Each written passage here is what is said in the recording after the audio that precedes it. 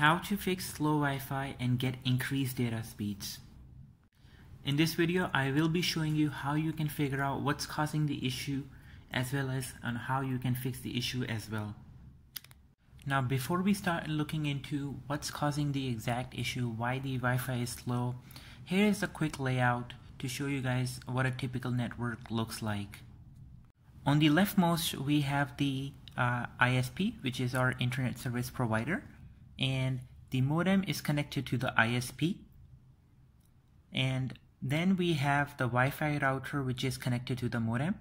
For some of the users uh, they might have an all-in-one solution where the modem and Wi-Fi router are together. And then on the right, we have all the clients. So the clients are, let's say it's your mobile device that you're connecting to the Wi-Fi. It could be a PC, tablet, and then, you know, there are many other devices that you might have connected to the Wi-Fi network. So the reason why your internet might be slow is because of the connection between the ISP and the modem. Uh, let's say they are throttling your data connection but it could also be that your Wi-Fi router is slow or it could be the connection between the Wi-Fi uh, router and the devices uh, has some issue or it could be the device itself. There are two approaches you can use to see if your internet service provider is throttling your internet connection or not. The first approach is slightly advanced so if you're not familiar with networking at all and you don't want to uh, take out any cable out of your modem, uh, feel free to follow the second safer approach. Now I have my Wi-Fi router with me and what you'll need to do is you'll need to go on the back side of your Wi-Fi router where you will have all the cables connected and look for the one that connects the modem to the Wi-Fi router and you'll need to take that cable out. That cable will look something like this and what you'll need to do is you'll need to plug it into your computer.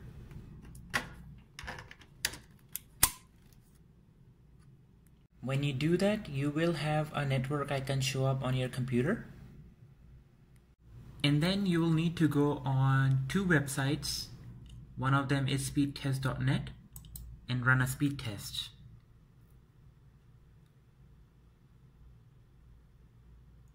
So that is my speed test one. And I'm gonna wait for it to finish.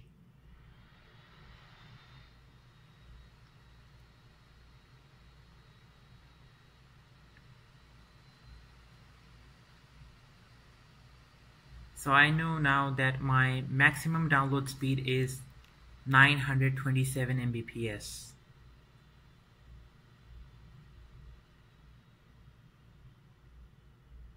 The next website you should go on is fast.com and run a speed test there as well. So I've already ran it on my computer and as per the fast.com speed test, my speed is 590 Mbps. In case you got speeds less than on both the speed tests, then uh, what plan you have with your internet service provider, there could be some kind of throttling. But for me, since I have a 300 Mbps plan and in both tests the speed was way more than what my plan is it doesn't look like there is any kind of throttling happening on my network right now now one thing to note is that you should close any application that might be using the internet connection other than the speed test otherwise you might end up uh, getting inaccurate results once you've ran the speed test you can safely uh, plug in the uh, networking cable back into your Wi-Fi router. The second approach that you can do to see if your internet service provider is throttling your data connection or not, what you can do is you can turn off all devices but one. So let's say if you have your mobile device, you can install an app called Speed Test. Speed Test, it's available for free on Play Store. And all you will need to do is um, take your phone near your Wi-Fi router as close as possible and run a speed test there. So what I've done is I've placed my uh, mobile device, I disconnected all my other devices on the network and now I'm gonna run a speed test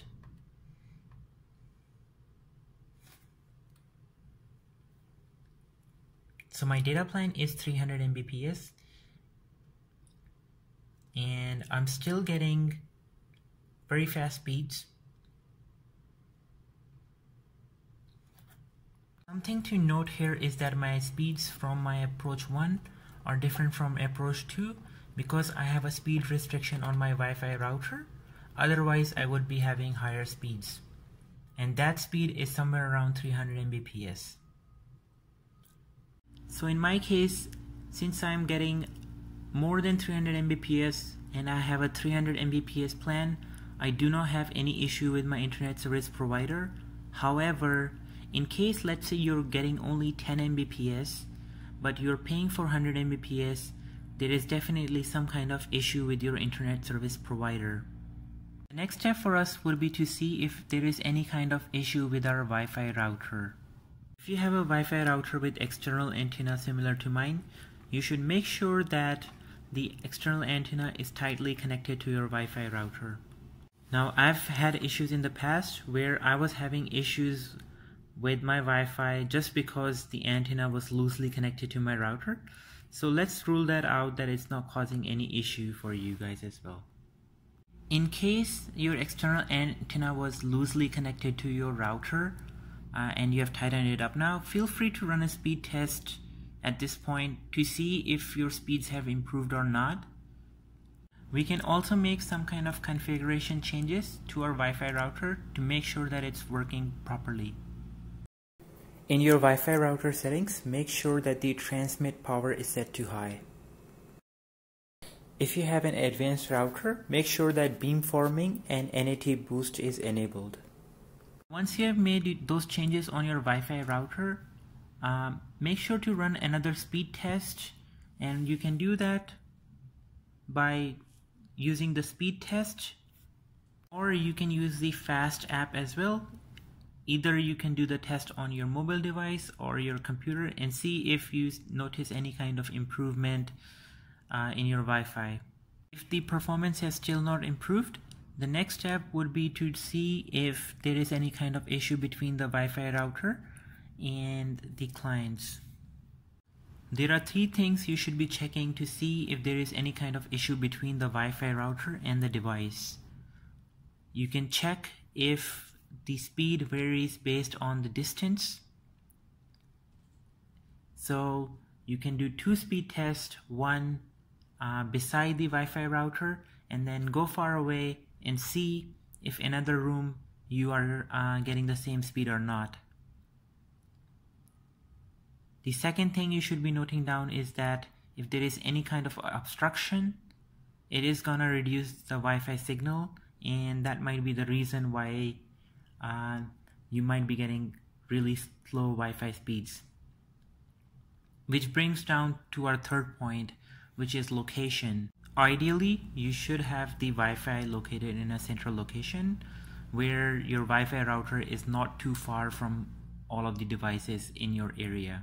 Now in case you have a very large house and you're not able to get enough signal, what you'll need to do is get a Wi-Fi extender. Uh, you can get the Wi-Fi range extenders from Amazon and they do not cost too much. The next step for us would be to see if there is any kind of problem with the device that we're using. So for this example, I actually have two different devices on which I ran speed test and the one on the right is a newer device. It gives me 260 Mbps when uh, it's connected to Wi-Fi while the one on the left gets me only 54 Mbps.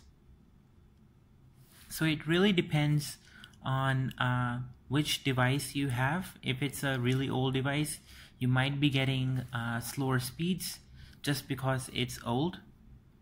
And you can simply determine it by running speed test on each of the devices like I did. Uh, make sure to run the speed test just one at a time Another thing you can do is you can uh, make sure that your devices are using a better DNS service. The one I recommend is 1.1.1.1 and uh, if you have a mobile device you can just install the app it's available on the Play Store as well as on um, Apple Store as well. Once you install it, um,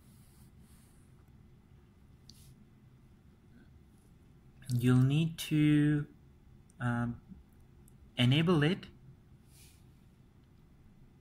And it's enabled. And make sure in the settings it's set to just using the Cloudflare's DNS you can apply that DNS profile to all your devices, whether it's mobile, PC, or tablet, to ensure that they benefit from a better DNS service. Something to note is that if you have a 100 Mbps plan and let's say the PC user is downloading something and it's taking the full bandwidth available, that does not leave anything available for the other devices. And they might experience slowdown as well. In case you have an advanced router, you can enable QoS on your router and you can limit how much bandwidth should be available to each device as well. So let's say instead of 100 Mbps, this device would only get let's say 90 Mbps and the 10 Mbps would be available to other devices and they would not have any kind of slowdown in service. There are some other things that can slow down your network as well. For example, torrents uh, if, if you have a torrent application running um, on any of the machines you might notice that the Wi-Fi is really really slow when you're uh, accessing web pages. Uh, that is because torrent uses a lot of connections. And what you'll need to do is update the configuration of torrent whichever application you're using to use less connections. Less connections. Once you're done making those changes, you should be experiencing fast networking speeds. Um, do let me know through comments if you have any kind of questions uh, following the tutorial and I'll be very happy to answer them. Thank you for watching it. Bye.